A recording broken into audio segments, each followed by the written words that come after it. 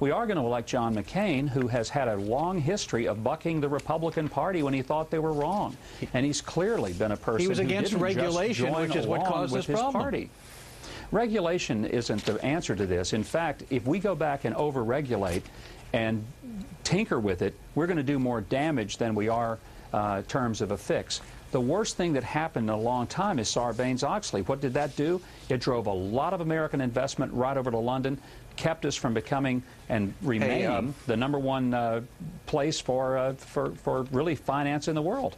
John McCain has a long history of being against uh, an overreaching government regulatory environment. It's a dangerous place for us to go. And what we need to do is re re recognize the marketplace will correct itself. Right. It's painful, but it'll, it'll, it'll correct itself.